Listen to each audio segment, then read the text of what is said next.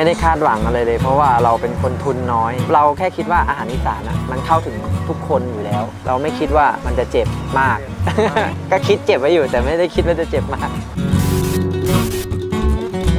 สวัสดีครับ ผมโน้ตนะครับ เป็นเจ้าของร้านจุ่มแซบอินเตอร์ครับผม เล่นดนตรีกลางคืนเป็นนักร้องกลางคืนครับผมก็เล่นตามต่างจังหวัดบ้างในกรุงเทพมาเริ่มถึงจุดอิ่มตัวนิดนึงนะก็เลยแบบอยากมีธุรกิจอะไรเป็นของตัวเองสักอย่างหนึ่ง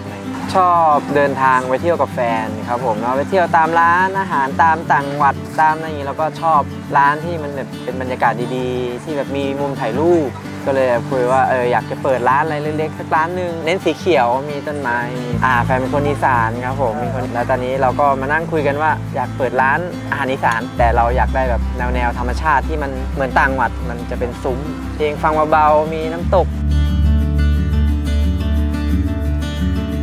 ตอนแรกเปิดเป็นร้านเล็ก ๆ เลยครับผม มีแค่ประมาณ 5 ซุ้ม แล้วตรงกลางร้านจะเป็นที่จอดรถหมดเลย ช่วง2อสเดือนแรกก็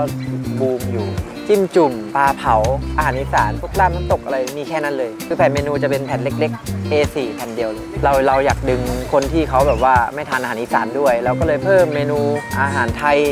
จีน เรามีทั้งปลาแซลมอน มีอาหารป่า มีมีอาหารที่มันแบบหลากหลายมากตอนเมนูนี่น่าจะเกือบ 200 อยู่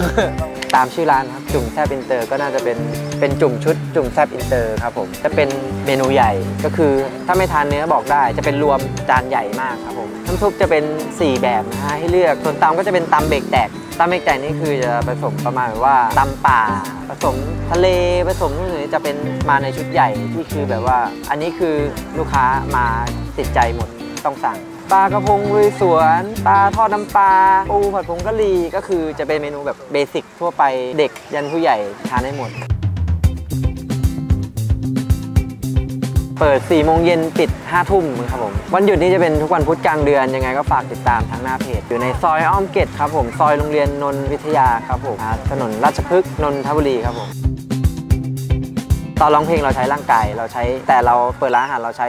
สมองอย่างเดียว ต้องคิดวางแผนนู่นนี่นั่นตลอดเวลา ไม่ได้คาดหวังอะไรเลย เพราะว่าเราเป็นคนทุนน้อย เพราะว่าที่เป็นของแม่แฟนเขาเช่าเอาไว้ เหมือนกับว่าไม่ได้มาเซ้งต่อเราก็มาทำต่อจากเขา เราแค่คิดว่าอาหารอีสานอะมันมันเข้าถึงทุกคนอยู่แล้ว เราไม่คิดว่ามันจะเจ็บมาก